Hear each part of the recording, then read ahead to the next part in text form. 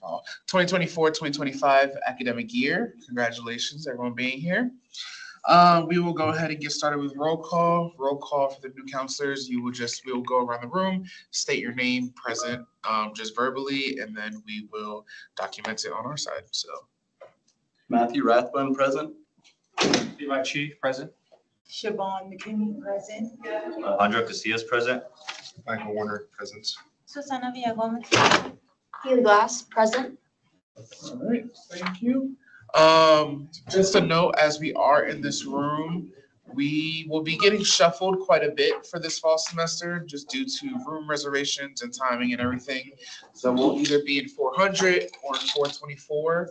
Um, this room, I don't really know where the microphone is, so if you can speak a little bit louder and clearer, just so we can have it. I don't know what that is. I don't know if that's Wi-Fi or microphone or not. Um, cool. Does anyone want to read the mission statement? We will start off every meeting reading off the mission statement just to ground us and remind us of why we're doing this work. I can read it out. Carson, go ahead.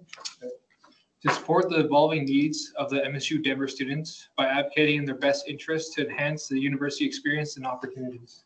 Awesome. Thank you so much. Uh, first up on the agenda, we do have Vice President of Student Affairs, Dr. Will Simpkins. And Friend.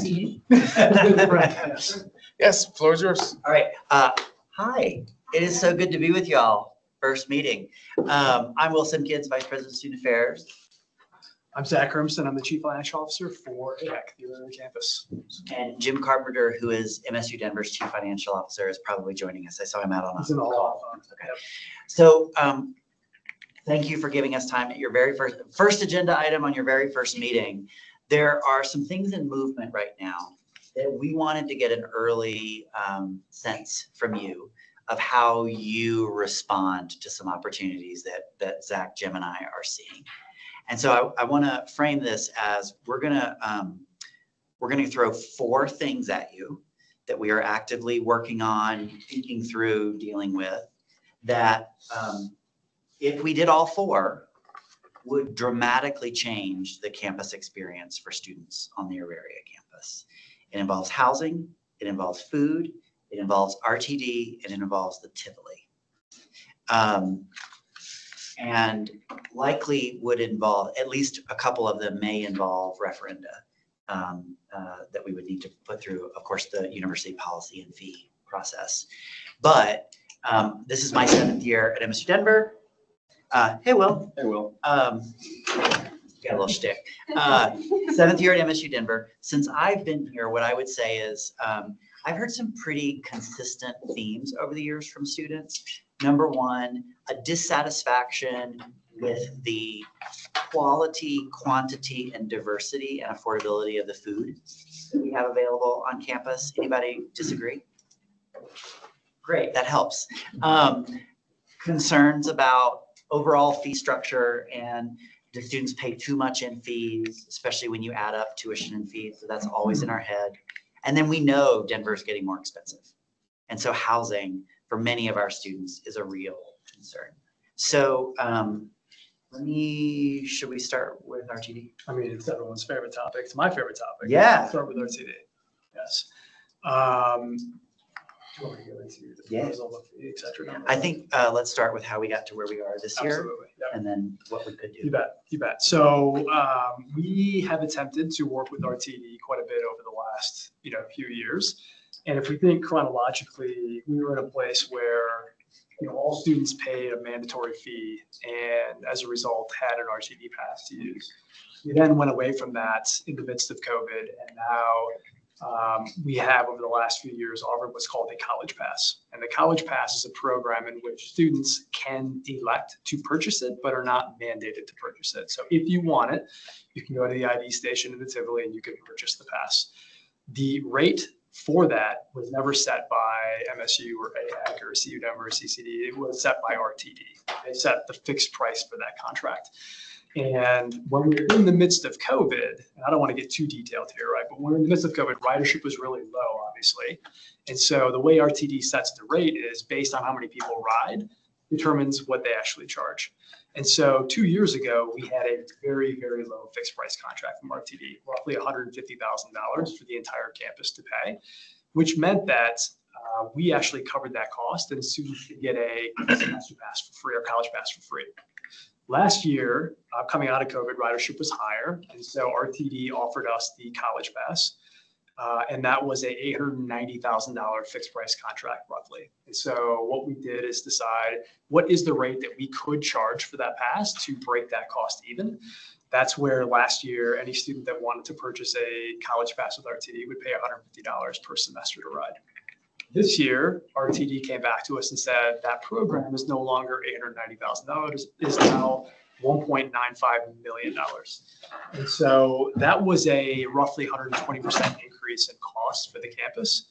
In addition to that, the Colfax line is shut down for maintenance. Um, and ridership numbers are just low, even though we had the pass last year that we offered four hundred dollars a semester. Roughly four thousand seven hundred passes were sold, which means we didn't even cover our cost. Ridership is down. And so because of that, what we did was work with RTD to offer a different option, which is called the semester pass. The semester pass allows a student to go into the ID station and purchase a pass that they want. Uh, RTD charges us seventy dollars a month for that pass. We then charge fifty dollars a month back to the student. So we end up subsidizing twenty dollars per month per student from AHEC itself. Uh, and that was based upon reserves that we had set aside with RTD. So I think that the moral of the story, the net of the story, right, is RTD um, sets that sets that fixed price contract for us. We have no control over what that is. And we're seeing just low ridership numbers for a variety of reasons. One, stations are closed. Two, lines are being closed. Three, there's massive delays. There may be potential security issues down different lines. So, I mean, ultimately, we're trying to figure out, like, do students still want to have a pass option as it relates to RTD? And we'll track the ridership numbers as we go through this year and then figure out next year, what is the ultimate option that we want to look at for RTD? So one of the questions I want to put on the table is, what do you feel like is the appetite? So obviously at two hundred and fifty dollars a semester, right? Um, now, it's, it's the highest that it's ever been since I've been here. When I first got here, I believe it was, uh, or when we ended the last, everyone pays the same amount, it was hundred and thirty-five? Correct. For a semester, but every student paid that and every student got a pass sort of automatically. Um, what, what's your sense of the appetite of going back to a model where every student pays a fee, which then drops the price down dramatically. And it could, could go even lower than one thirty-five. Um, but everyone gets an RTD pass. Because if we did that, we would have to go through the referendum process this year. I think that is something, um, I apologize for being late, everybody, but it's good to be with you all. Um, I think that is something that students definitely are very much interested in. Even when I was, um, campaigning, running, talking to people, they were like, what happened to the RTD passes?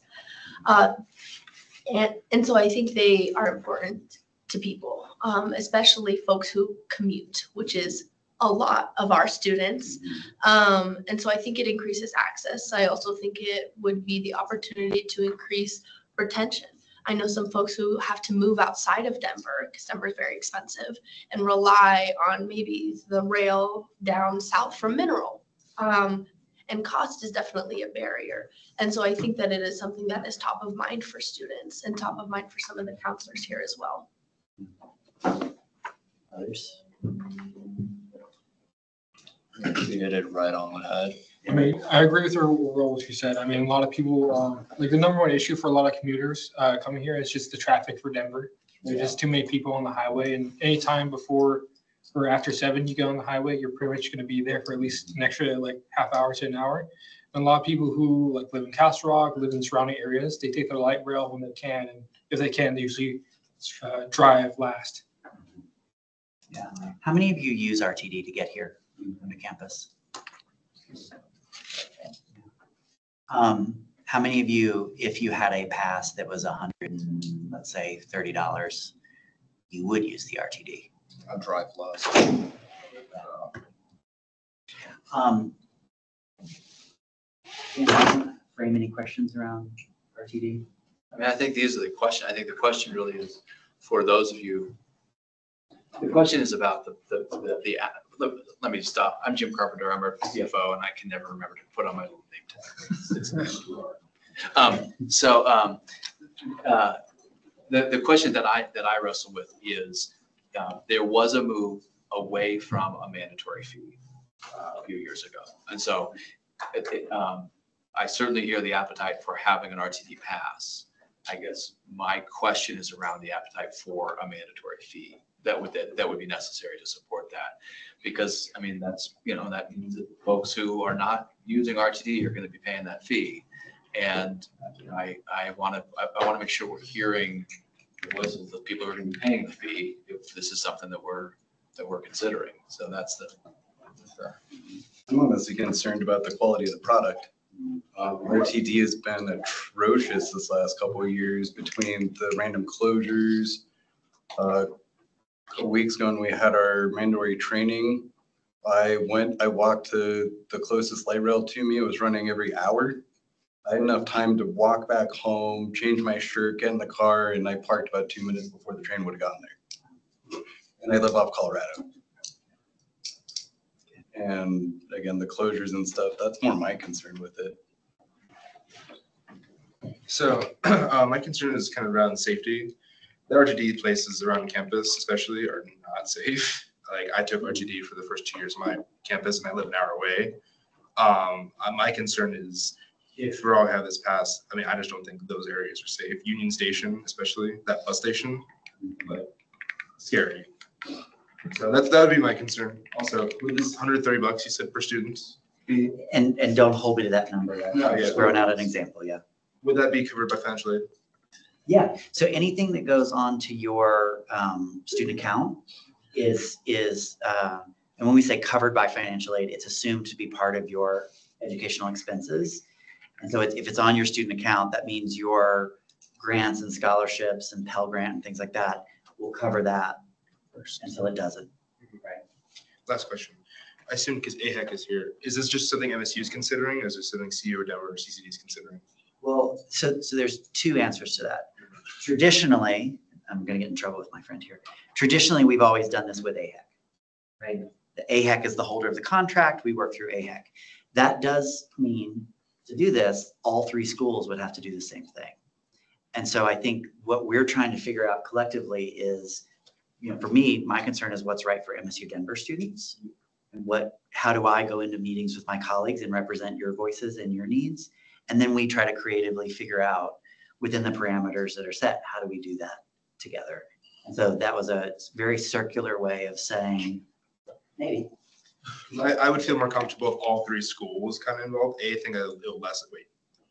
Are are you, were your calculations just for one school or all three? That was all three. Oh, okay, never mind. Yeah, all three. I'd, I'd hope then all three schools would kind of pitch in on this cost. 'cause- Yes. So I'm going to move us beyond RTD, but here, here's two follow-up um, actions that I'd like for you all to think about. One, talk to your friends and, and reach back out to me and let me know what, what you hear from other students. Two, as you all are talking with the other student governments at CCD and UC Denver, um, I think chat with them, to your point, Mike. See what the appetite is from their perspective.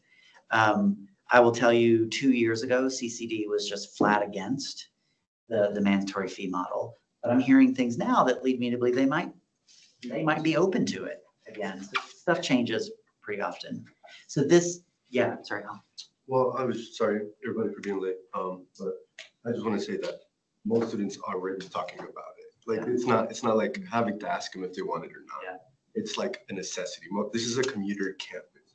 So for the, uh, for students to be able to even have the ability to have that as a backup plan is kind of the reason why we are a commuter campus. Like, students have already been, I guess, not distraught, but as it's difficult for them because they have to spend more money, money that they don't have on this pass. So most students already want the pass. And it's been talked about it since they got dropped. Like pe- students have been upset since then. So I would go for it. Thank you. Alright, um, Although I, I, I would benefit from the mandatory, um, pass, um, but, um, what about, say like ninety percent of the students need the pass and they get the pass? So how, how do you, um, benefit the, the ten percent that don't need a pass? Because they live right across the street or in the surrounding, um, um, dorms. you know, when they go to the stores, Yeah. in this area. Yeah, I mean, I think they still get the pass. They can still use it. It's not just uh, for commuting to and from school, so they could use it if they're going somewhere else on the weekends. But there are probably even a larger than ten percent group of students who are never going to use the pass, who are never going to activate it, never use it, but they would still pay the fee. Um, And that's, I think, the crux of the question is, do we ask everybody to pay a little so that we benefit maybe fifty percent, sixty percent of students? Or do we keep it on a more expensive option for those who need it? That's sort of the question. And, and one other thing too, sorry, Will, is like if we have more ridership, it's going to free up probably easier ingress and exit of the campus because there's more parking spaces for people that are actually driving down because people are taking RTD. So it may help reduce some of the congestion that we see on a day in, day out basis. No doubt this week has been incredibly busy for students trying to get in and off this campus. Can, can I suggest one thing that we can do together is potentially, um, depending on how the timeline works, would TSAC be interested in maybe running some focus groups with Absolutely. us, of, of bringing students together to have conversations? Awesome. I think Okay. It would also be good to show a demographic of like why it would be beneficial, because like, if you go to the RTD app, like monthly is eighty-eight dollars, it used to be sixty-five, or nineteen and under. Yeah, and like, that's about like five hundred dollars, like for the whole semester, like if we show the difference to students, like why this is beneficial, I think it's most likely like they'll agree with it. Great. All right, I'm gonna, I'm gonna push over to some, some other topics. So um, I'm gonna describe a, a housing project that we're currently looking at. And then I think it's important for you to understand that first before we talk about the food services thing, because they're sort of connected. So um, we have been for the last ever, since I've been here, talking about um, should MSU Denver get into the student housing business? We don't own and operate any housing right now. Uh, We have moved from trying to have good relationships with the off-campus landlords. So the, the Regency, um, CoLab, Auraria Lofts. Any of you live in any of those buildings? You live in one of them? I did. You did. I used I to. did. I You used to, okay. So, so we try to have good relationships there. Then, two years ago, CU Denver actually started allowing MSU Denver students to live in their buildings. And of you live in Lynx Crossing or City Heights? I know people. you know, people. So this year we've got about 370 students in, uh, mostly in Lynx Crossing, a few in City Heights. That's huge. And that's with very little marketing. Um, because we don't get those beds until late in the year. Typically a school, you know, you would apply in October and we would market housing to you when you're applying as a freshman or a transfer student. Um, we have an opportunity, uh, with a developer right now on a project that we're looking at on the ball field lot, which is that big gravel lot next to the Tivoli garage, between the Tivoli and the, and the hotel, to um, potentially build 515 beds of student housing. Uh, Where uh, the, the um, AHEC offices would also be in the building and the C2 hub would move into the building. We got some state revenue last year uh, to build the C2 hub. Um, The housing would be really similar in, in terms of cost to what CU Denver is doing right now. And I want to say, all of us want to build affordable housing. We, we can't do that unless we have a billionaire who gives us a lot of money, and buys down the cost, or until we get to a certain number of beds that allow us to have some expensive options and some less expensive options, because at the end of the day, it all sort of washes out. You with me so far? Okay. So right now, we're looking at uh, 515 beds. 80% of the rooms would be uh, like a, a room with a bathroom and two beds. Some of them might be singles. Um, We, we charge you more money for that, though. Uh, And some of them would be sort of suite style, two bedrooms with, uh, with two beds in each, so four people with a common area and two bathrooms with some amenities, but right here on campus. Um, The cost would be right in line with where CU Denver is, so no more expensive than CU Denver because we want to keep it competitive. Uh, Likely would have some sort of meal plan, just like CU Denver does.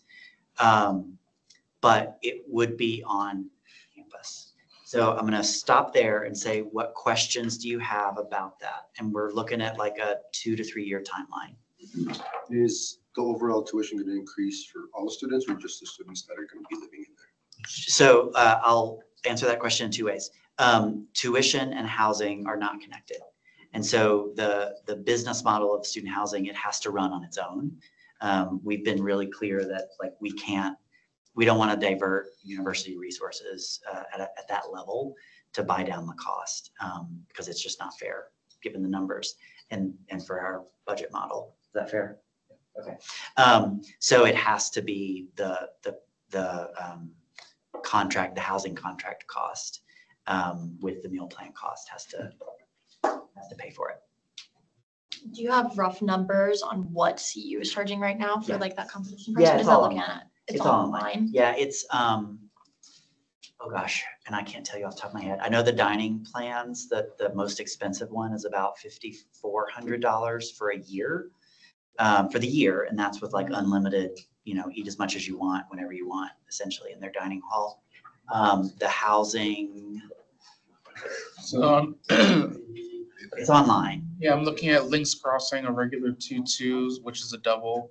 So two people per room, two rooms, common area, uh, fifty-two hundred per person for the semester. Fifty-two hundred for the semester? Okay. And again, we're not talking affordable housing here.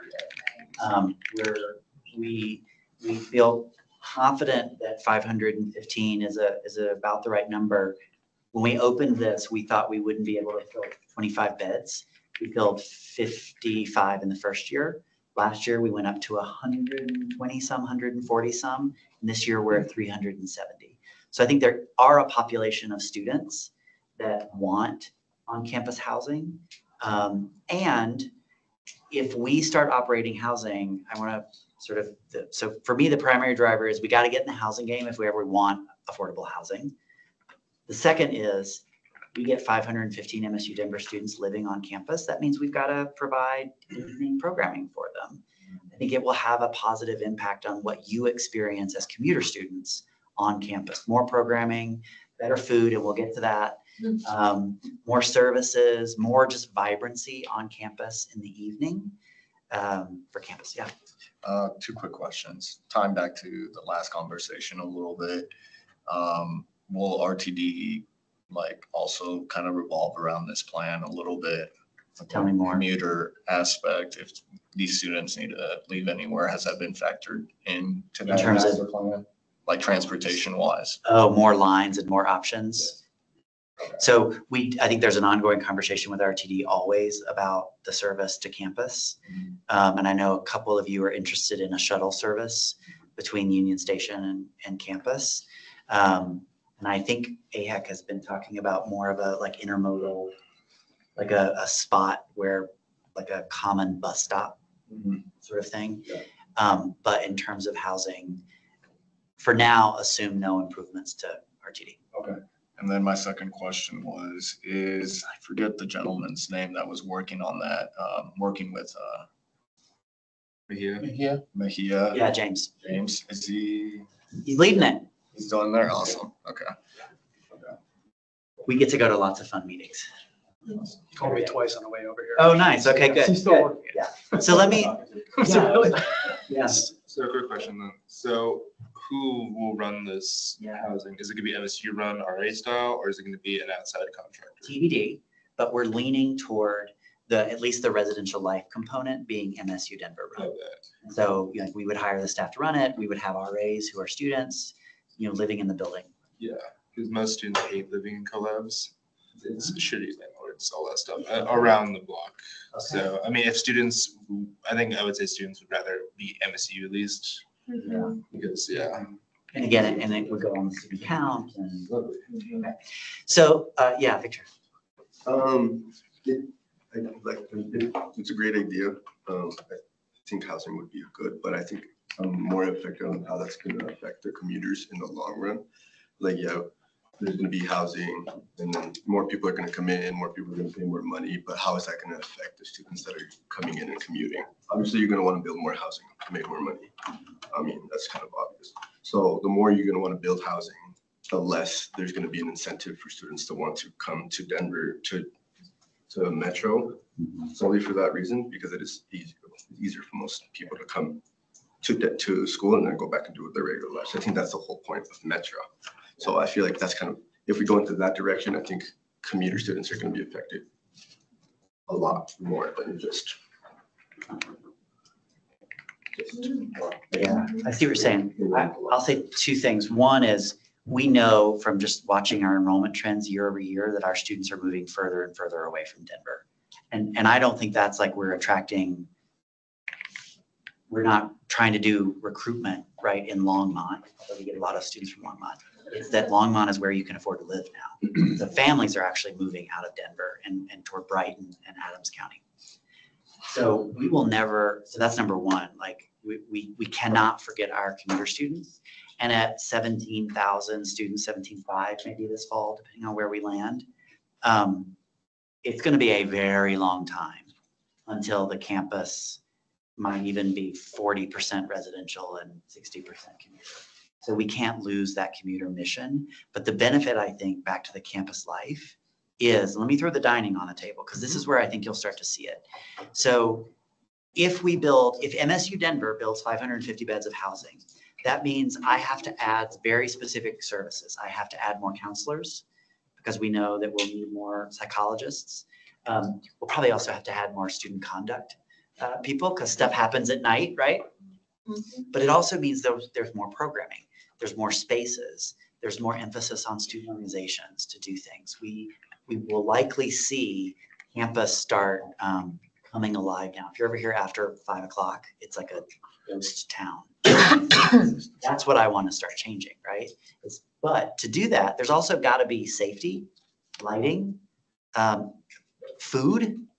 And so part of the pro forma that we're looking at is increasing the number of public safety officers through ACPD to make sure that we've got more security. I think the point about RTD and safety at the stations is something we can talk about. Um, we would also have to put some sort of food in that building. People got to eat, right? So here's the opportunity that's on the table, and I'll do one sentence and then throw it back to that. Um, CU Denver uh, has a contract with a food service provider, so they've got Einstein's Qdoba and their own dining hall. Um, Everything else on campus are separate contracts with either AHEC or MSU Denver. So every vendor is a separate vendor, right? Starbucks, Dazbog, Sono, Sono, Sono, because it's like Sono one. Sono Snack two. attack. Yeah, yeah. Um, when I lived in New York, there was Yum Yum Thai one, Yum Yum Thai two, and Yum Yum Thai three. And they were all on two blocks. And they were all owned by the same people just because they, they needed more spots. Typically is. Yeah, exactly. Um, so we've got an opportunity by adding another sort of food service on the campus to potentially outsource all the food to one like company that runs food. And remember, that's what CU Denver is doing now, and they're still getting the national brands, and they've got that all-you-can-eat dining hall.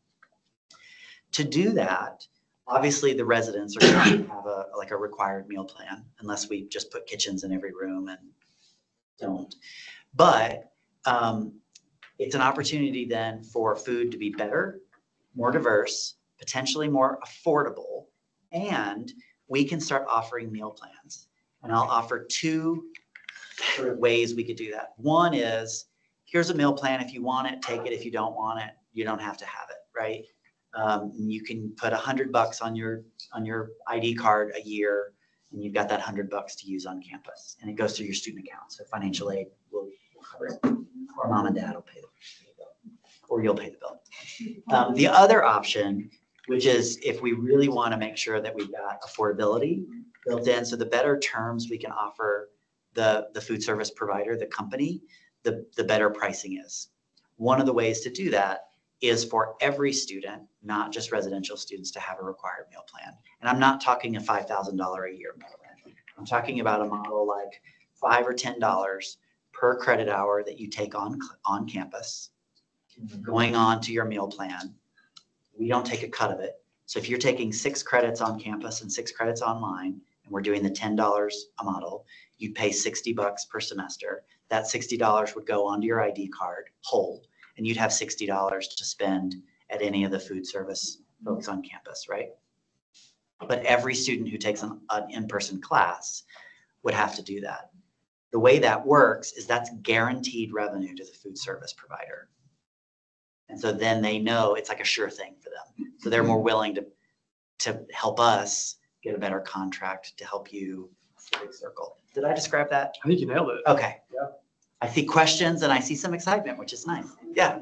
So I think eventually, everyone who comes here eventually eats here, whether it be like picking up a coffee or whatever, you know? Um, and I do like that it's throughout the whole semester, meaning it's not like a monthly thing. They have that money to spend throughout that whole time, which gives them that flexibility to spend that money.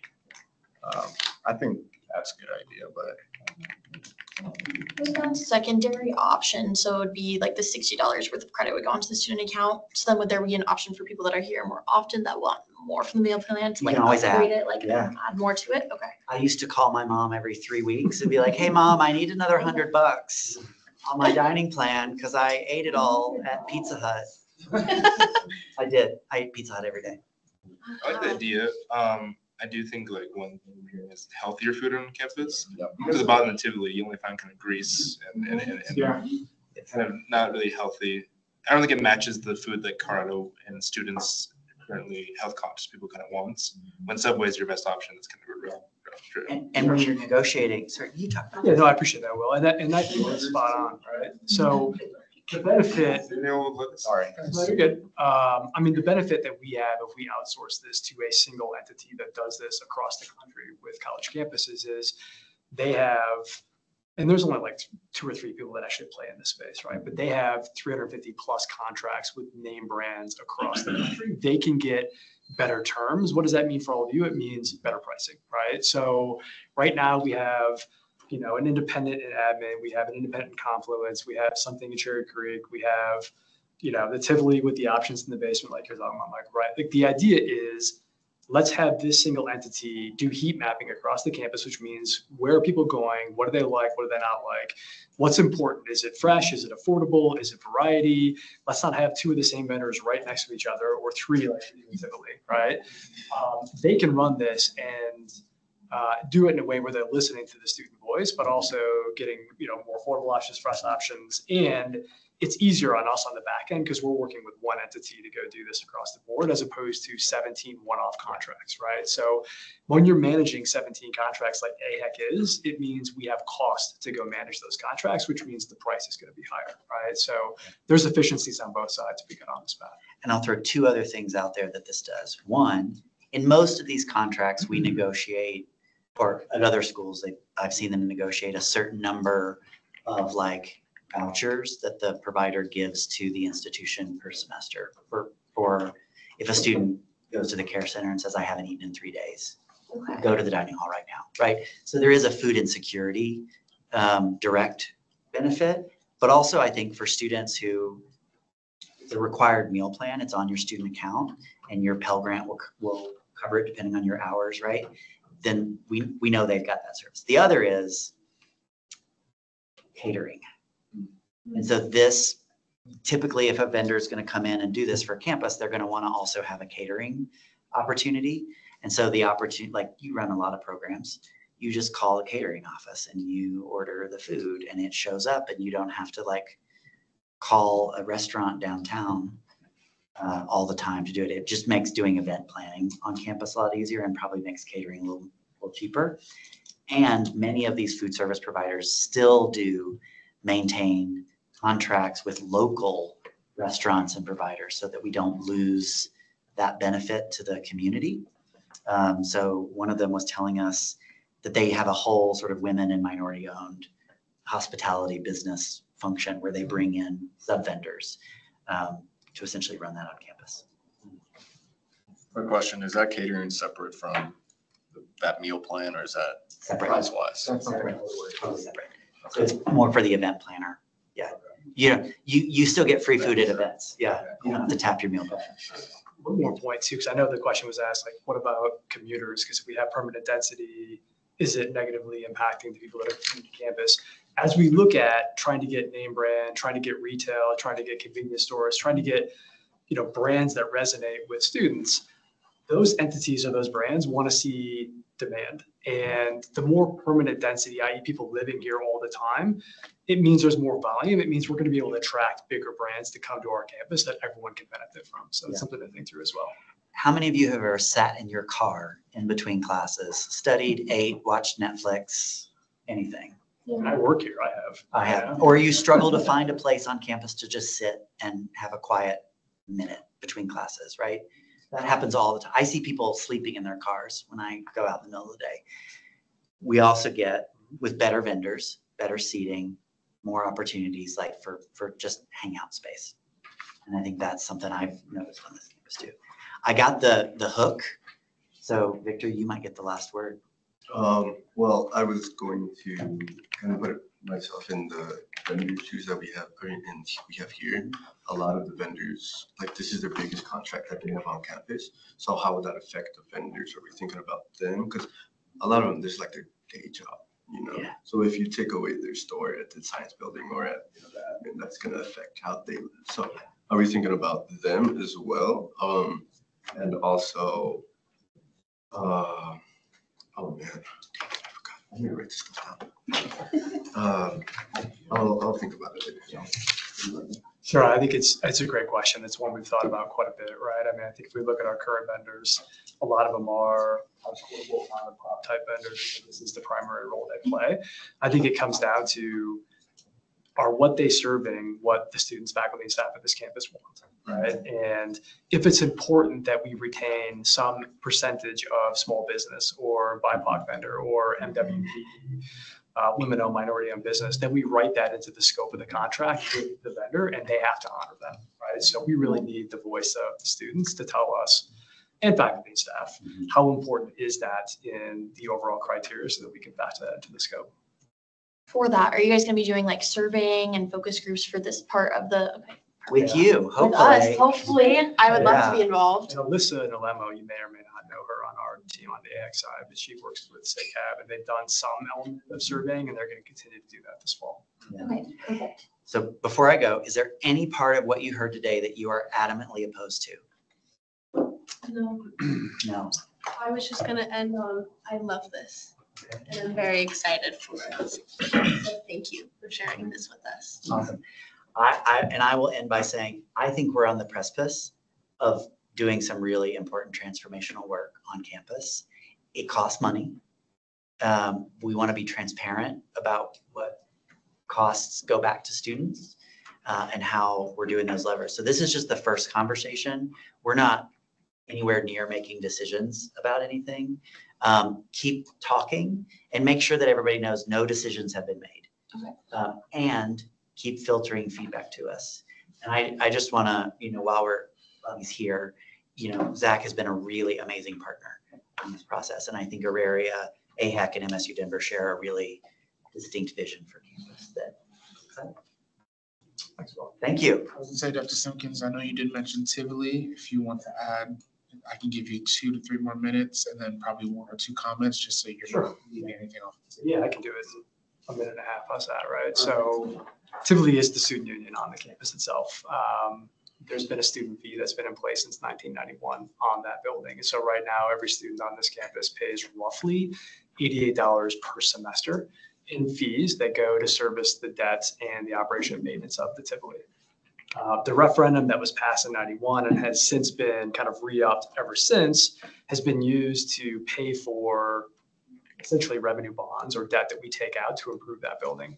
Right now, the work that was done 20 years ago, uh, the equipment that was installed is end of life. So we need to now go back out and we need to go refinish grease traps and HVAC and, um, you know, elevators and switchgear and things that people could probably care less about, but are critical to make sure that that building works. And so uh, it's our intent to keep that kind of fee in place as we go forward so that we continue to have the dollars that we need to put back into that building. So we're going to work with you over this fall, not only on that, but also on kind of what we're calling Tivoli Reimagine, which is bringing together MSU and CU Denver and CCD with AHEC to say, what is it that we want this student union to be? It could be the most amazing student union in the country, quite honestly, right? Um, and so we're going to go through a committee process that students will be a part of that say, what do you want to see in this building? What needs to be improved? What works? What doesn't? Um, we're going to go lobby at the state level for construction dollars. We're going to use some of the fees, obviously, that you pay to take out debt to go improve that building as well. It's going to be a big project. It's going to be something that runs pretty much from right now through 2030 before we see all of this come to fruition. Uh, but we want all of you to play obviously an important role in that process. I have a quick question. Does every student um, across all the institutions pay the same fee? Yes? Okay. Do online students pay? So um, we'll talk about that. Okay. Yes. The referendum says all students. Okay. Yes. One last comment? No?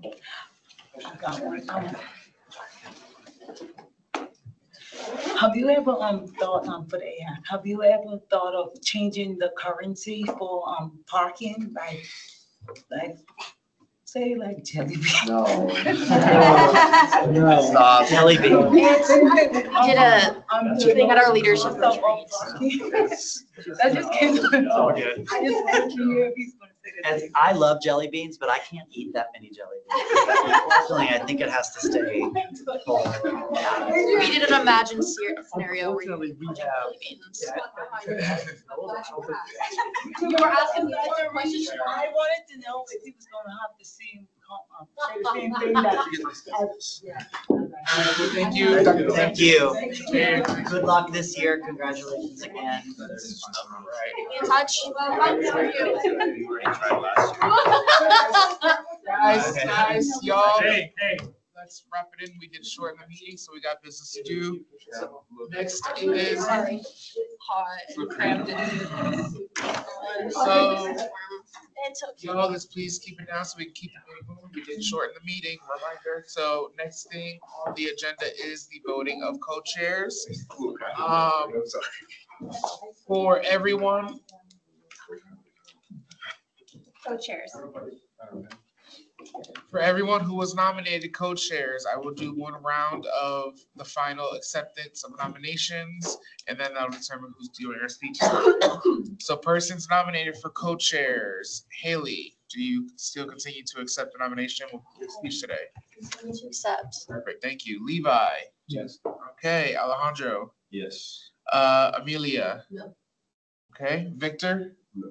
All right, so we have Haley, Levi, and Alejandro giving their speeches today. Uh, remember, we said five, up to five minutes for co-chair speeches, and then we will do, um, some deliberation after. Like I said, we want to keep things moving today. So first up, I will just go with Levi. Should I go up here or stay right Yeah, he, he can do a timer. Um, you can, Well, I think I should stay here. 'cause yeah, I'm you can in. stay here because the camera's right there. Um, Alejandro and Haley, if you could just step out for us, please. Or actually, wait, did we keep them in? we had them step out last Yeah, year. that's okay, okay, yeah. Bye. We'll come get you when we're switching. All right. Floor is yours. All right, uh. Good afternoon, everybody. Uh, my name is Levi Chi, and, uh, I'm excited to be part of TSAC and get to know more about each and every one of you as we work together in the coming weeks. We already have some experiences together, but I still feel like, uh, to truly know each other, we still gotta get more involved. Um, I'm here speaking in front of all of you for the role of co-chair of the committee, which is a large task is not only assisting with meetings, but helping the chair with their responsibilities while managing meetings. Vice chair is going to be the support for the chair. They can help uh, make the council run smoothly or crack and drag it down. It is a little, sorry.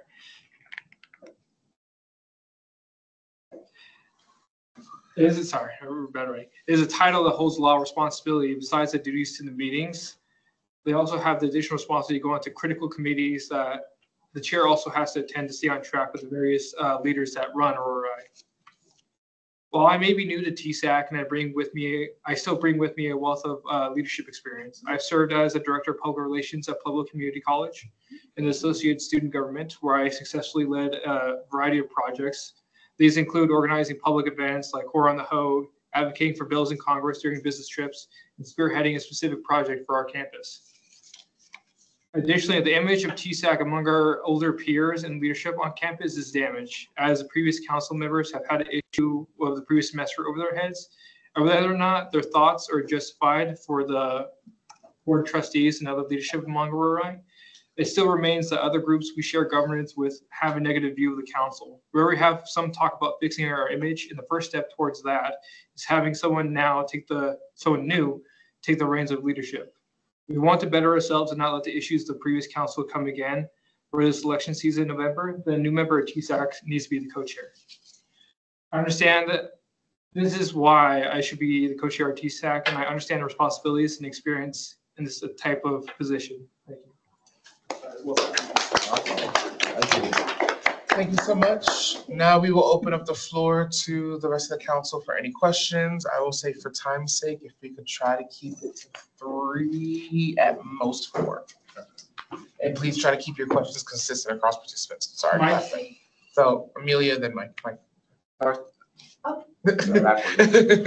He called me, you Oh, called me. Oh, sorry. Sorry. Thank you. Um, thank you so much for sharing with us. I'm very excited for you. Uh, one question that I will be asking everybody who is running for any chair is, what is your capacity? This isn't something you have to say out loud, but it's something that I want people to think about. It's like, uh, when you think about your time and your commitments, and when you think about committing, do you have the capacity for it realistically? If you do, if you don't, it's just something that I want everybody to be thinking about. Um, and I'll end with that for time's sake. Um, You don't have to answer if you don't want to. If you would like to, please, but So my capacity is that uh, I made, so for the kind of way I structured this semester for uh, time, taking classes and then doing this is that um, because of some other stuff, I'll have, I'm not working a job this semester, but I'll be able to, you know, pay for everything and be fine. So I have a lot more time in that sense. So school is mainly my main priority this semester. beautiful. Michael? So, yes, my question is about organization. Um, just to give you some context, I probably get about hundred emails a week from different people all over the school. Um, and Getty, last, our last co-chair, chair did as well. Um, how do you, how will you organize that? What resources will you use to keep yourself organized? That's probably a discussion I'm gonna need to make with my chair, because I will admit that I am new to this role. Um, but I'm not afraid to take up the responsibility and try my best into taking it. It seems like a great undertaking, which is why I see it as an important responsibility. I'll try to like be knowledgeable and prove what I can. I got one question. Thank you, Levi. Um, how do you plan as co-chair, since you're running the meetings, at least try to be unbiased? I feel like uh, an important part of being a team is getting to know everybody and um, spending time with people. Uh, I think the best way to be unbiased is to give a fair assessment to everybody by getting to know them, being more involved with them, and understanding their uh, aspects about them. You know, I kind of like had this idea of whether or not I'd be co-chair or on committee. At the very least, taking dedicated time to spend time with each member of the uh, council to try to get to know them better, understand, you know, their motivations, what they plan on doing for the semester, and what they imagine for TSAC. Thank Next question? I don't know, I'm gonna ask a question. Uh, so Levi, as a co-chair for TSAC, there, we- there are, there can be opportunities where um, conflict can occur within a meeting, where the tensions can run high, emotions run high. How, how might you um, manage those types of situations, or do, what tools or skills or resources might you draw upon to think about how you might um, that type of, because it's inevitable, as we talked about this summer, and so just curious um, what experience you might have or skill set, or how you might access those in this role. So previous experience I have is that um, besides military and like I worked um, with the Veterans Office for the past couple of years, both here and other places, and trying and solving disputes. Uh, like I said, dedicate time before uh, spending time, but also trying to make sure we move forward together when it comes to the missions or problems we have currently in the meeting, and then try to address those concerns outside of it so we can mitigate the circumstances. So, Thank you. Well, that closes our time for comment- questions for Levi. Levi, thank you so much. If you could send in Alejandro next. Thank you. I bring you here, son. She- she gotta get started. I'm gonna, I'm gonna just stop asking and I'm gonna assume That's all. She gave me all my stuff, so mm-hmm. throughout my twenty years, she always gave me About stuff. No,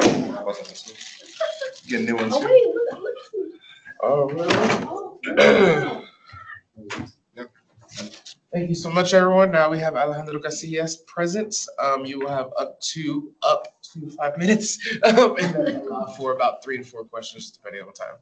All right, so we'll go ahead and start the timer. Floor is yours. So the reason why I think I'd be a good uh, person for this position would be because I do have quite a bit of experience with TSAC when it comes to um, last year's council. So I do, I am quite familiar with um, how things run and, you know, know when to cut things off, when to know when to continue the conversations and just basically make sure that everybody stays on track to ensure that, you know, we don't lose any type, any time and we get through everything throughout the agenda.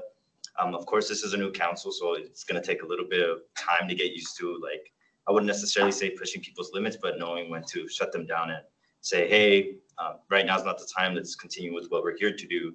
And, you know, doing it in a professional manner, I guess you can say. Um, yeah, I mean, that's all I really have.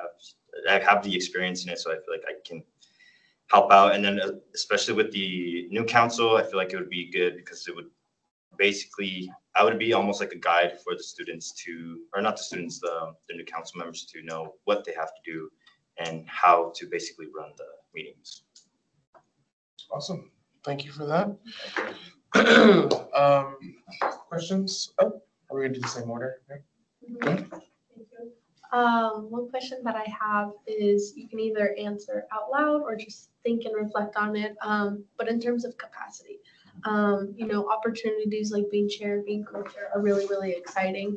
And I think, I mean, you've obviously been on the council before, so I think you understand more of the, the capacity and what that takes. But I just ask you to like reflect on that uh, in terms of like, what is on your plate? Work, student government, classes. Is this something that you have the space for?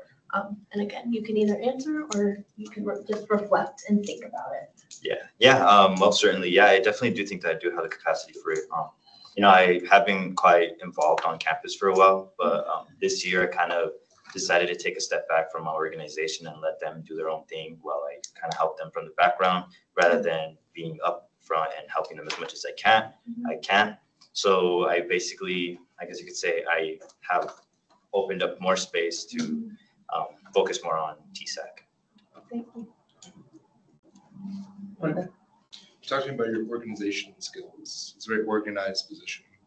Yeah, I mean, um, you know, going back to when I first joined my fraternity, uh, they definitely taught me how to stay organized. Um, they taught me quite a bit about time management, so it basically has helped me know what to prioritize, when to prioritize it. Um, when it comes to TSAC, I know specifically keep it to TSAC. I shouldn't necessarily focus on, oh, I have a assignment due tomorrow, so let me do it in the middle of a TSAC meeting, something like that. Um, when it comes to like specific, I don't know, uh, topics or something, I, I basically like to have everything laid out for what I want to talk about. So if I know that there's something specific that I want to talk about in TSAC, I make sure that I have everything set up. And I wouldn't necessarily say in the order that I want to talk about it, but make sure that I have like the main details there so I know, okay, I need to speak about this, I need to speak about this and this. So I, I basically, I guess you could say I set up a plan, so I try to stay as organized as I can for everything. Um, hey, Other. So, you know, being a chair is very important and you're running the meetings. How do you plan to keep yourself uh, in check with your own biases? Yeah. Um, so again, I mean, I try not to be as biased as I can because of course I I myself don't like when other people are being biased about anything. So I try to stay away from that. I, you know, whenever there's something that I don't like, like let's say again, if I see somebody's being biased about a certain topic, I myself try to make sure that I'm not biased about anything because if I dislike it, I'm pretty sure other people are going to dislike it. Um, uh, if there's ever a time where I get out of control, you know, or I wouldn't say out of control, but like I go off topic, I try to, I guess, grab myself from the collar and be like, hey, you know, pull myself back, hey, calm down now, you know. But yeah, I, I, I try to stay away from being biased. I do basically whatever we're here for is what I try to stay focused on regardless of what it is. So even if it's something that I'm not too fond about, I just try to make sure to focus on it till we get past through it. Thank you. So uh, you touched on this a little bit during um, your, your time. As you know, conflict is inevitable and sometimes um, emotions can come into the, the student government meetings. And um, as a co-chair, it's your role and your responsibility to facilitate the meetings to be productive spaces and where people feel heard, but also, you know, being able to manage difficult conversations. Um, So what skill set do you bring to that? What experience do you bring to that? Or, and or what resources or things would you pull in to be able to navigate some of those things? Yeah. So, um, you know, obviously being in the organization that I've been, that I'm in with uh, Nu Alpha Kappa, um, obviously we're not all going to be agreeing on the same things, so we do tend to, you know, bump heads a lot. Um, I always come from a side where I need to hear their point of view before I try to say, oh no, my point of view is right. Um, and I'm like a firm believer that conflict isn't necessarily a bad thing.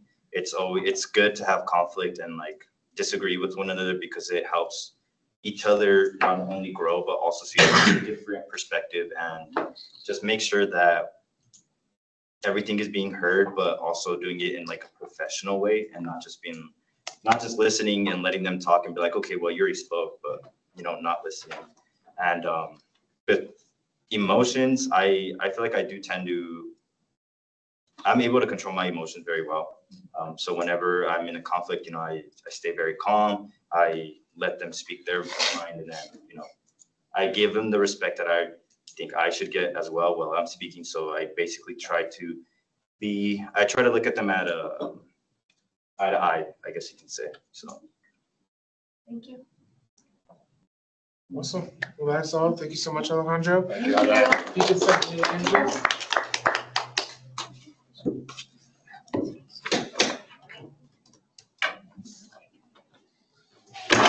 Just made the- We're just in the decision, co-chairs. We can definitely do chair for all. Uh, We can do Should whatever. I stand back here?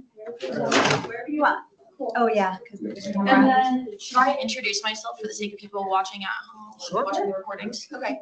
Where's yours? Perfect. So hi, everyone. For those of you who don't already know, my name is Haley Glass. I am a senior at MSU this year, majoring in political science and minoring in legal studies. And this is my very first year serving on TSAC. I was honored to be nominated for the chair position and thought long and hard about whether to accept it. As many of you know, this is a valuable semester for me as I prepare for the LSAT and apply for law school. After multiple discussions with my fellow council members and advisors, I have decided to accept the nomination and I believe it is something that I can manage on top of my other priorities.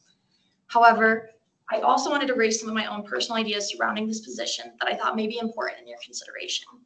The Student Advisory Council is built to have a flat structure in which no person should have more power or responsibility. In actuality, it doesn't always seem to work out that way. In regards to the chair position, the text within our own constitution claims that this leadership role is intended to primarily maintain parliamentary order and represent the council and MSU Denver's president's cabinet. Aside from that, chairs will share an equal and fair distribution of power given to all other members. In accepting my nomination as chair, I intend to uphold the constitution and maintain an equal and fair distribution of power within the council. I am more than willing and able to maintain parliamentary order, represent the council and the president's cabinet, and handle any direct requests of the council that are brought to my attention.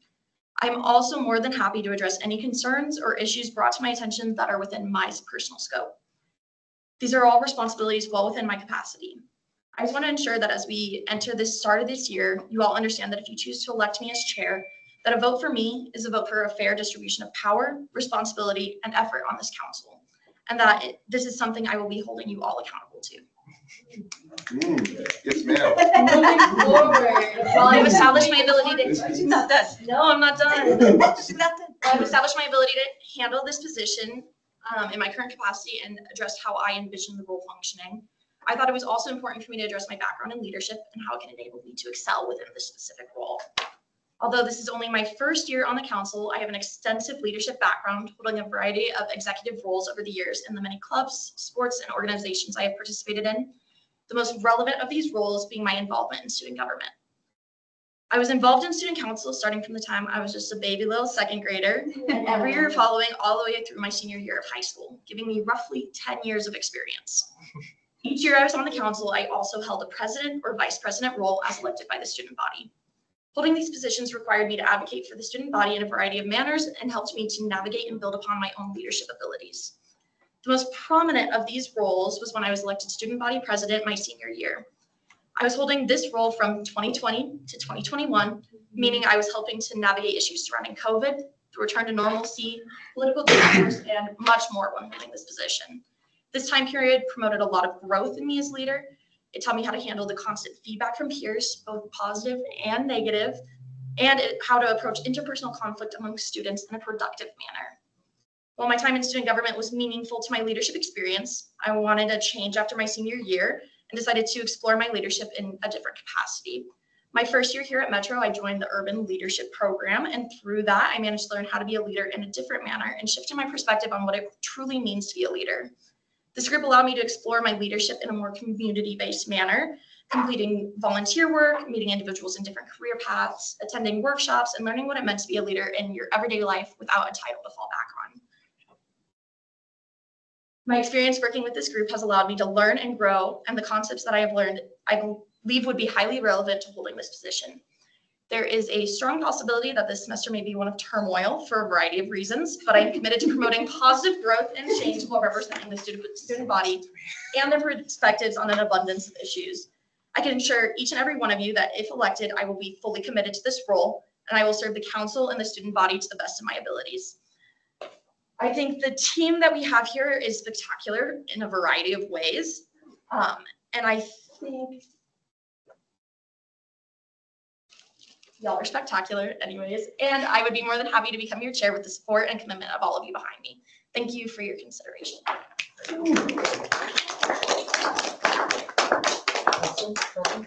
Uh, Yeah, I don't think I'm gonna ask my question because I, we have to. Let's see what we're- Um, in terms of your, you can either answer out loud or just reflect on it, but something that I've been asking people in terms of capacities.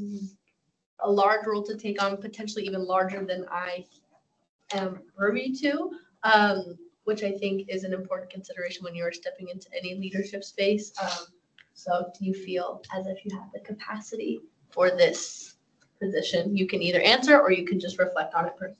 Absolutely, I will answer it. I mean, I kind of addressed it in my speech as well, and I addressed it with quite a few of you in individual conversations as well. This was something I thought long and hard about, and I had to mm-hmm. do my own research on the chair role, what it has meant in the past, what it's supposed to mean, and kind of how I would want to approach it, and if it would be something that I would be capable of with my other priorities. Right.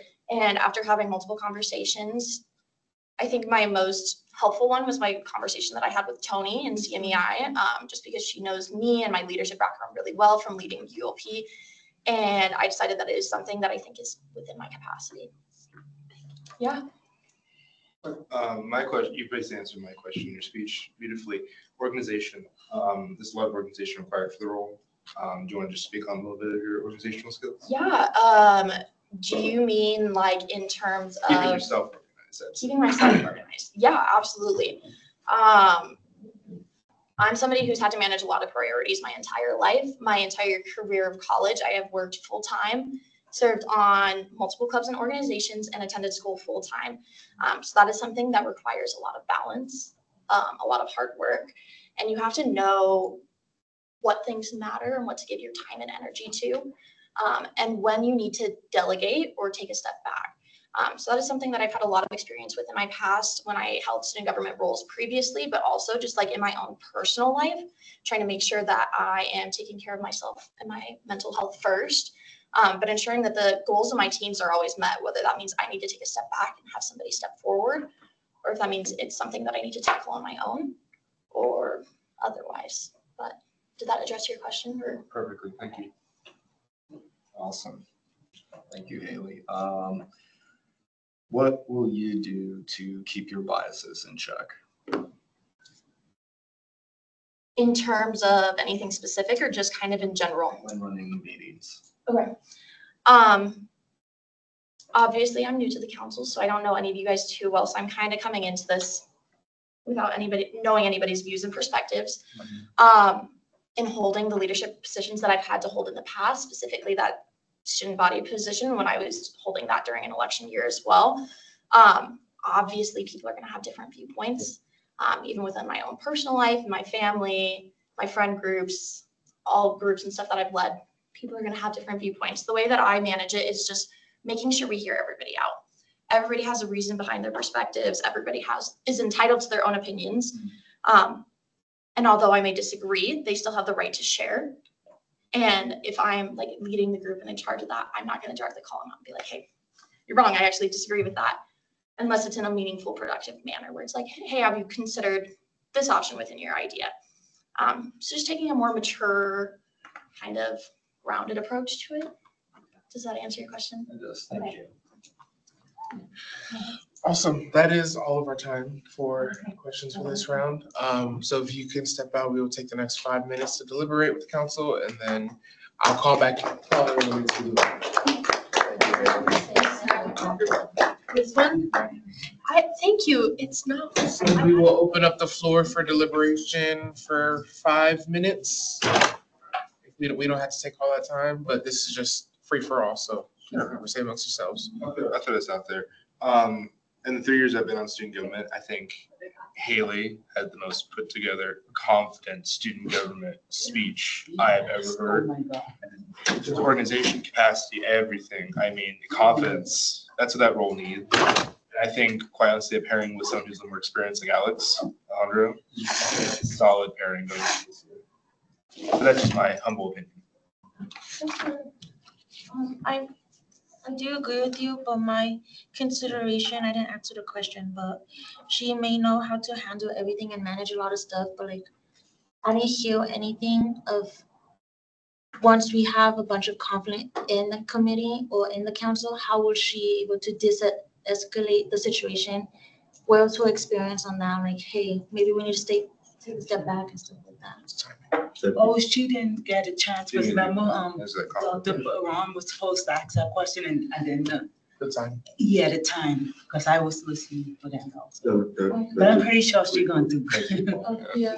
a- a great I point. feel like, I feel like out of like, obviously, all of us, mental health is important, but like, this community is like huge. And like, we are going into like not knowing anything. I'm going into not knowing anything. And like, obviously, when I have a situation, I'm like, who am I gonna like go to? I'm like, hey, this is what I'm having. This is the situation that's going on. I need your support, or like, how are you gonna like balance both without biasing in it? Mm-hmm. In, in terms of representation for TSAC, then going into these meetings, it would be beneficial, I think, to have Haley there, because she's very, she prepares, she thinks about the meeting, she thought about it for a really long time, she talked to me about it. But also, like you guys, like she was saying, I don't, I don't see her ability to cut off a conversation or like assert herself in that way. I don't know if you guys remember back to when we were having our, uh, our retreat, she kind of like, like kind of tried to stay quiet when, when they the activity and stuff. Um, so I don't know if that's might be indicative of how she's gonna do the meetings.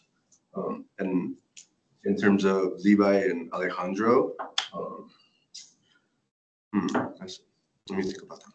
So really quick on that point, uh, good point, Victor. I do think if Alejandro is elected in, he will bring his experience and from me and Mike's and Matthew's experience, he knows how to cut, cut people off. If Haley isn't able or as experienced with that portion of conflict, you know, controlling the meetings, I do believe Alejandro would be able to help with that. And you touched on a very essential point here is representation. And I think it's very vital because of this semester and what's going on, right? Election year, the protests, everything, right? So that's just something else to consider. Something that I would like to bring up is, um, I, I know Haley would be an amazing co-chair. And I think we all saw that for ourselves as well, and even before her time today, coming and speaking with us, asking, you know, what we think, um, and also talking to Miss Tony, who knows her really well. So I think, you know, the way that she was even approaching this step of the process of being co-chair, I really, really, really thoughtful, really, really thorough. I think the thing that is top of mind for me is capacity. Yes, she can clearly handle a lot. Um, and I don't want to like insert myself and be like, well, I don't want you to have to like be completely, completely at capacity. Um, and something that is um, holding, like something that I'm still thinking about is Levi is doing school and that's it. And so I think, well, yes, you know, I think they have different leadership capabilities. Um, I think there is something to be said about capacity. I really, really think there is because for myself, I have been in a position where I completely overbooked myself. And I learned the hard way that yes, well, I might think I can do something and really, really want to do it. Realistically, how does my week play out? How much time am I spending on homework? Am I adequately spending that time on homework? She's studying for the LSAT. The LSAT is a really big thing. It's like larger than GREs. Like, and like, it's something really, really substantial that she's studying for right now. And so that's, I'm just considering capacity. Like, I know that they would both be beautiful. Um, and I do, I am really want a previous council member to be there as well to help, you know, guide the conversation um, with that experience as well. That's just something that I'm thinking about, just because of capacity reasons. Agree hundred percent. Honor of the island. I think in my year, my experience, in at least the co-chair structure that we've chosen to go with, there's always been kind of a main co-chair and a secondary co-chair. So first year was Dan and Paul, then it was Chad and Taylor, sort of thing. It's always been kind of that, that dynamic.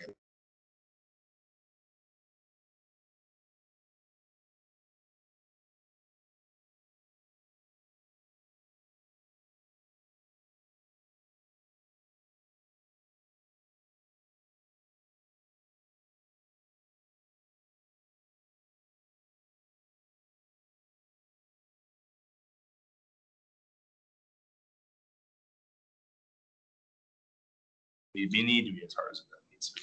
But that's just my opinion. My humble, Well, clarifying question, weren't you guys both chair? I was trustee. I've, I've never been co-chair. Okay. who's the other co-chair? Matt, Matt was in the previous year, then Alejandro was vice chair. So, yep. All right, everyone, um, at this time, if you could pull out your phones, computers, whatever you have in front of you, you will be voting for the two. Um, so they can vote. Yep, I'm about to go right away. Is this on Teams or? It's on Teams in the meeting, yes. Oh, the meeting. Let's do the student care council. Yes, can you put that in the student government council? Ah, very exciting, y'all. Why did I think you and Dave? Sorry about that. I'll, I'll throw you in the student government. Everyone will have student trustee. See, I, What uh, are they gonna do without you? Oh my gosh. we're gonna do that, The man. earth might tilt off its axis. I think I'll tilt off my access more before the earth does. I would have tilt off my access before. I'm just here, I'm just a concerned student, that's all I say. Wait, wait, wait, hold on, y'all. Maybe delivered.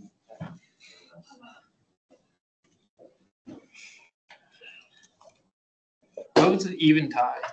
Hold on, we'll figure it out. We got boxing gloves in the back. out.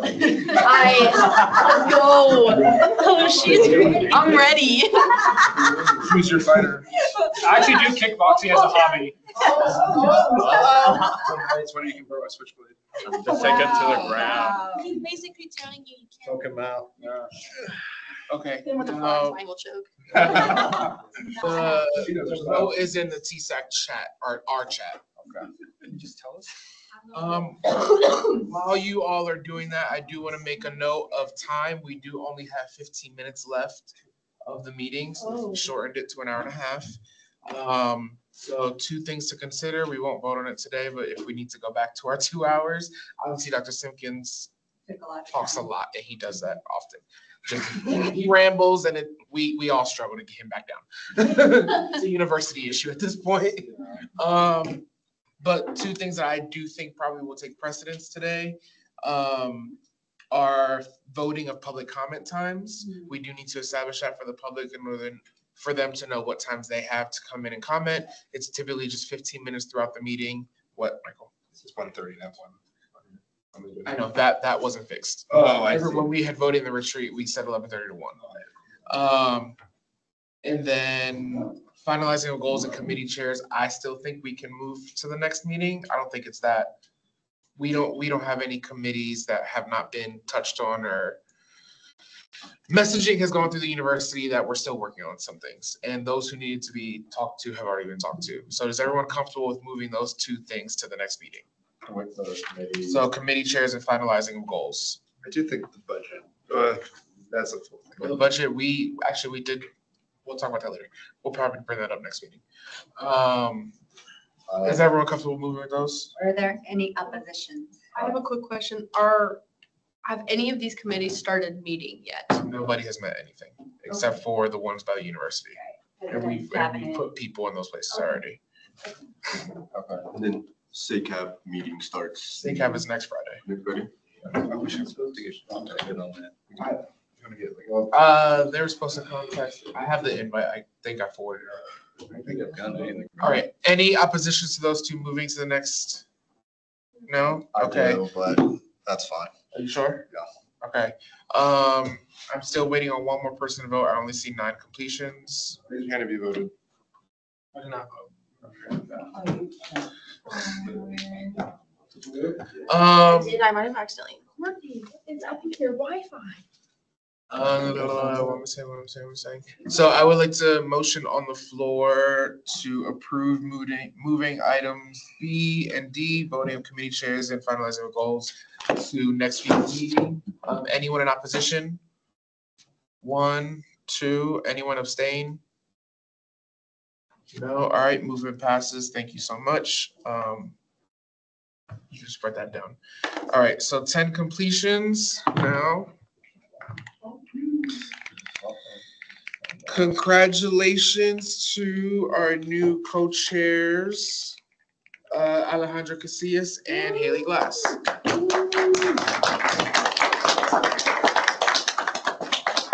As we are nearing the ending of time, I'll just continue finishing this meeting and then we'll talk at some point throughout the next week to get you all caught up and Alejandra can talk to Haley about what it's like to run the meeting and everything from there. Cool? All right, moving on to voting of public comment times. Um, this is something that the public comment, any student, faculty, staff, community member has the ability to come into the TSAC meeting um, and just kind of share thoughts, opinions, grievances, comments, compliments, whatever they, they want to share. Um, does anyone from the previous council want to add anything on public comment? No? All right. Um, go ahead. Yes. Uh, How often did people come to public comment? It really depends. Depends what's going on. Yeah. Um, sometimes we vote, sometimes we see nobody, sometimes it's packed. Yeah. Um, just public comment times, it is fifteen minutes throughout the meeting and each speaker, group, series, whoever comes in, team, they have five minutes, up to five minutes. Um, so I will open the floor for discussion for you all to kind of bounce back and forth of when you think is best for public comment time. I see Alejandro. I would say twelve fifteen.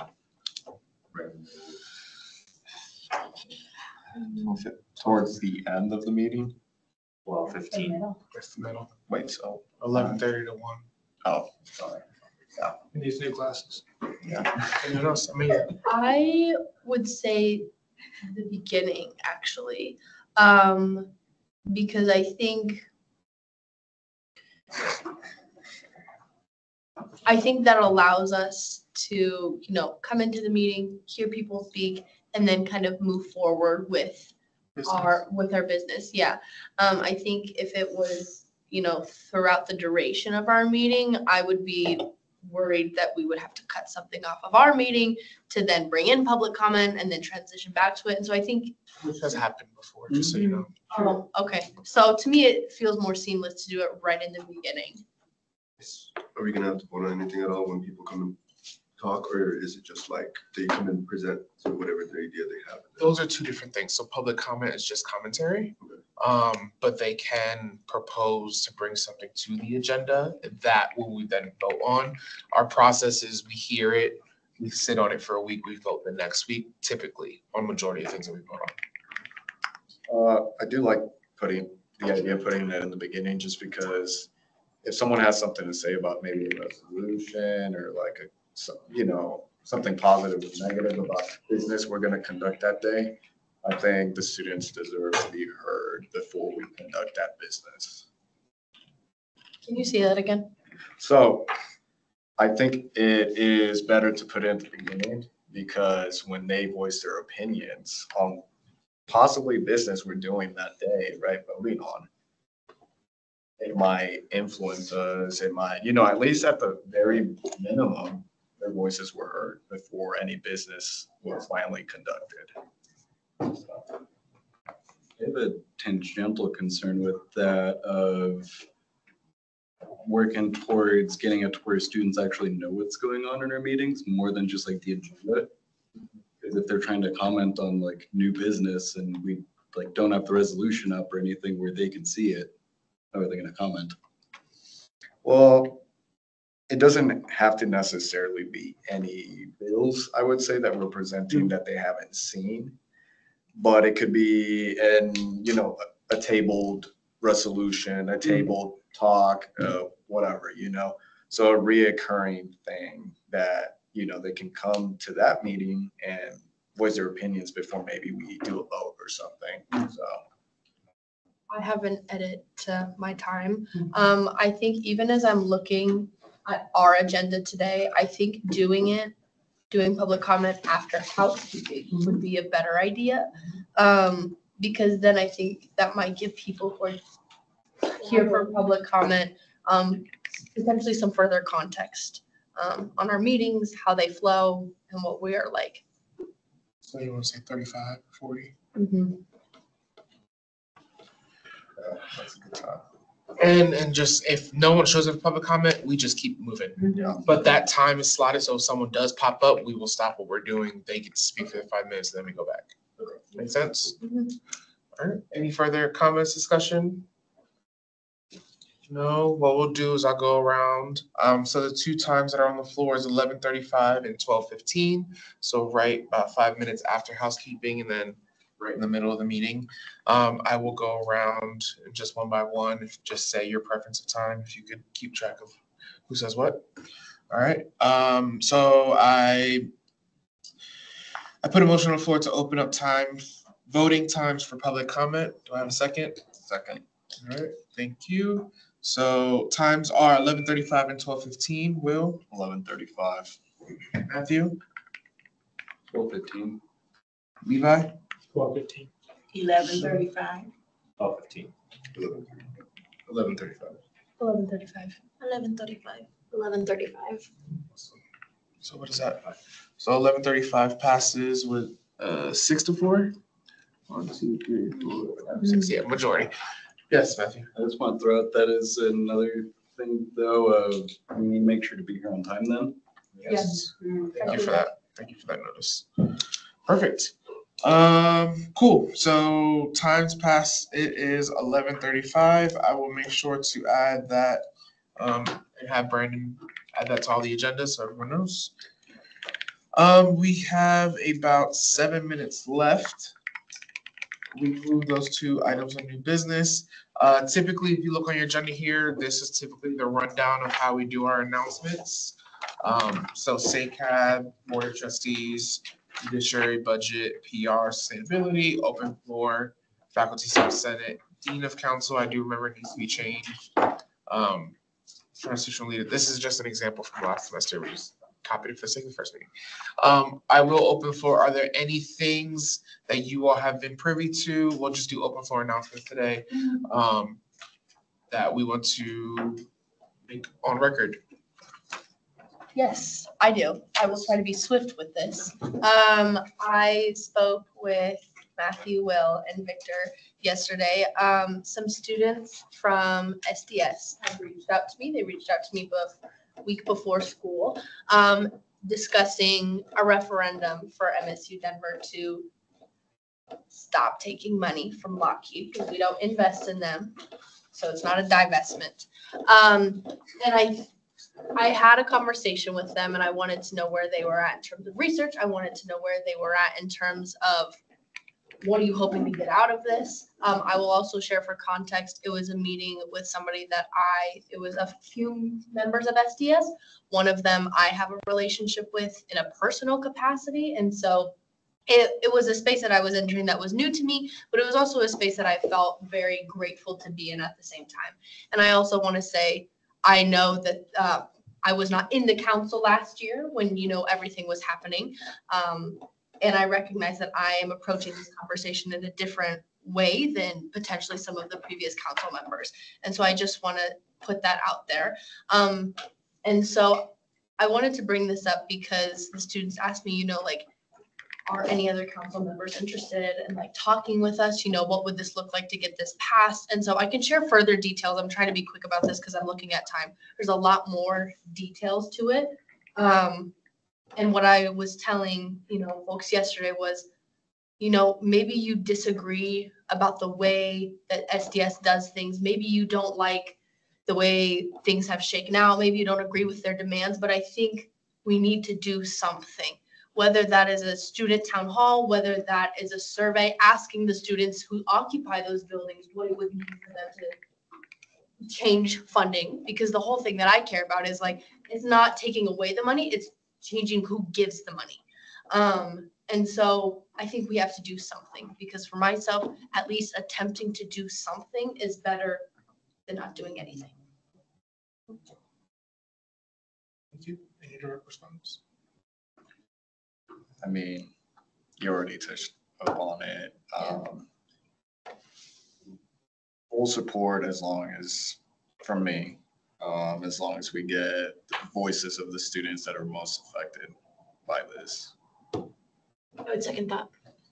I would- I would just say, um, yeah, like how you mentioned, as long as they come in with the plan, because if they just want us to not take no more money, I mean, that's probably gonna bring up tuition costs on everybody. Yeah. Um, if they don't want an- us to have anything to do with Lockheed, then how MSU Denver find other sponsors, um, other opportunities for internships, because at the end of the day, not everybody's gonna get an internship at Lockheed, not everybody's gonna have that intention that they think what Lockheed normally has or whatever, but like, Yeah. At the end of the day, maybe somebody does end up working for Lockheed and they're doing it with the intention of bringing good change instead of, you know, causing more destruction with the missiles or whatever it is they're doing and so on. But if they're just asking us to move away from Lockheed, they should come in with the plan rather than just be like, do this, do this, do this. This is what we want, but mm-hmm. want to do more work. To, I hear you. to second that, that we spoke Amelia yesterday. We looked the exact same things you said, like, if, there's, that's a lot of money that, a lot of resources that students are gonna not have anymore if that huge institution leaves. So with a plan, with other financial incentives or other funding needs, and there, if we, once we set the goals, there's gonna be some, we also came up with some different ideas, so, um, about trying to find different avenues. Um, and that was all spoken yesterday, but if you guys want, we can like set up a meeting and talk about it deliberately. Can I just see a, sh- Michael, oh. I was just gonna say, can I see a show of hands after you are done, who are interested, because I want this to be collaborative. I don't wanna do this in a silo. So if you are interested in any part of this process, whether that's sitting in in a meeting that I facilitate with students, whether that is looking at the notes or debriefing with me afterwards, everybody at this table has a part in this. It's not just a me project, it's a us project if you want to be a part of it. So after, after, after Mike, yes. If you want main roles, I'm more happy to help, but I'll let you do it. It's up to you though. I'm not, because It's I, actually, because, it's actually up to you. Well, I mean, I have a very clear bias here from last semester, so Are if you want, if you to want, Put your bias out of your work, Mike. I mean. I'm- I'm- One of my questions. It's all out of love, I know. And I understand. And that's why I preface the conversation with, I understand that I'm coming into this conversation with a very different lived experience than some people like yourself. So we can chat. We can chat about it next week. Um, Susanna? He was your comment quick. Um, I can let go. Um, one thing I did wanted to mention, just like you said, like what Alejandro said, like them bringing a plan. But like, I think my concern is like, why are these students who are protesting are the one getting all of the information and not everybody else? And that's the thing that, That's, that's the thing I'm confused at, because we know a certain part of information and they understand this part of information. We need to make sure that all of the students know everything, what's happening with Rocky Mountain, what is the effect of this, I'm like, and I feel like that is considered of like, I don't know how to explain it, like, like a strategy plan of how we not advertise it, but how we provide exactly, and how we provide that information to the Mhm. students. Yeah, I hear that. So it sounds like you want to do an informational town hall. Yeah. Just, just to put it on the floor, since it is one o'clock, do, can I put a motion on the floor to extend it by ten minutes, just to finish this conversation in a timely fashion? Um, second, thank you. Anyone in opposition? Oh, sorry. No, all right, motion passes. Continue. Um, Matthew, comment? Yeah, I also wanted to bring up, because to my knowledge, SDS also isn't a recognized student org at this point. Yes, I, I was gonna say that as a point of information from advisors and CMEI. Um, SDS is not a recognized student organization. They have not applied for recognition. Um, they're going through their own thing. So if this is SDS at MSU at Auraria, that is, we cannot, not that we cannot, we can talk to them if they have the same views as SDS as students, but we are not talking to SDS. Does that make sense? Can you maybe rephrase that? We can talk to the students, we can't talk to SDS. Yes. Yes. Everybody that I spoke to in my meeting were students. And they need to be MSU. And they were also MSU students. I checked about that too. That is the biggest thing that, yes, SDS is not a recognized organization, so. Um, was that it for you? Was that what you were gonna say? Michael? Let me let me re- rephrase my statement. Um, so let me put my personal bias aside. The board has taken a position on this, and I'm inclined to not go against the board at this time. So unless like, I'm open to it, I'm open to kind of meeting those of that, but I will probably, at the end of the day, kind of work with the board and kind of inform them of it, but they have a very strong position on it unless you, like, unless they come with some stuff and can change that, that perspective. So Mm, if it's a personal conversation next week, we, we still haven't had that conversation yet. Um, can you, if you have the capacity to, um, elaborate on what that means in terms of the board? So the board may kind of, so unlike any other kind of school organization, the board actually chose, our board chose to actually meet with SDS. And what they brought to us last semester was nothing like what you're describing. They just said divest from Lockheed Martin, or we're quit accepting donations to Lockheed Martin. Mhm. Not really, and then our obvious follow-up was, what about the students who are using those funds? I mean, the Mhm. students who gain those jobs, didn't have an answer for us Mhm. they kind of put that ball in our court in a sense, and we said no, Mhm. pushed it back. So I'm not saying like this, they're gonna change, the board's gonna change, because they have a very strong position on it. The board is no. Currently, the board said it last time. Not that they can't be persuaded, but it's gonna be a tough sell. And if they have the sales pitch and they have the kind of informed plan, that might be something better. But just letting you know, that's where the board stands on that. Okay, um. Something that I, something that I think is important to say is I even asked the students I met with, I was like, where do you think the responsibility, responsibility is in terms of finding a new, a new funding? Do you think it is the students or do you think it is admin? And they kind of like sat back for a sec. They were like, I think it's a collaborative effort. So yes, I agree. I don't think the demands should be shouted with no, hey, look at this, hey, what about this? I agree with that, but I, I don't think that it's all on the students and I I don't- don't think it's either. all on admin. I don't either, yes, but it needs, it needs to come, they need to come at that approach, because the person that came out last semester was very exclusive and stuff like that, which Okay. did not make the board want to move. So, they're the only board in the nation that met with the protesters. CU Denver did not extend that courtesy to their students. So keep that in mind. We have a pretty Yes. progressive board Thank you. here. How open is, how open is the board on getting new funding resources? Oh, that's, always open on getting new funding resources. They're always one community partners, so let's say we come up with a couple partners that would like to, you know, at least come and talk to them. Would they be open or would they still like, they'd be like performative like they were last year with SDS, where they just gave the documents? What do you mean by that? I guess we knew the position, you knew the position, they weren't gonna change their position, but they still gave documents and stuff to not make it a bigger issue, you know? And I, don't- I don't want that to be an issue here, like, we, I wanna be able to have the opportunity to actually, actually do it, not just, oh, maybe, or like, you know, like a shrug of the shoulder, is what I'm talking about, from the board.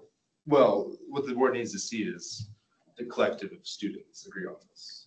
And that's what the part, I think honestly was missing, is because SDS does not represent mm-hmm. all the students on this campus. Mm-hmm. It's, it was hundred students in the quad in our own year. We have almost nineteen thousand students in the school. And I don't know how, God knows how many in that engineering building, people go for the actual engineering program. If the board can be convinced, it's gonna be from like people from within that building and the students as a whole. That's what's gonna convince the board, because they have a fiduciary agreements, we all signed it, do good by university, and just cutting funds kind of on the whim of a demand, is that goes against that agreement. Valid, super valid. Um, but again, It's a longer conversation. if you have it, so. Because you- I, I, I've been in these trenches for a while. yeah, I think you, you, you have a lot more expertise in those situations. And trauma. No, I'm, I'm sorry about that, Mike. That's Um, all right. are, I hear folks packing up. Can I just see a show of hands of people who are interested in working in some capacity on this? So I can shoot you an email. It's the council. That's the council. There you Yay! go. There you go. Okay, that made my day, guys. Thank you so much. That's it for me. You want to close it off? Is One oh six. one oh six, um, I motion that we end this meeting. Anybody opposed? Any abstentions? Cool. This meeting is adjourned. Thank you. I have to, I have to go to work, but, but let's do some next week. Yeah, I'll send you an email next week. Is there a timeline at all for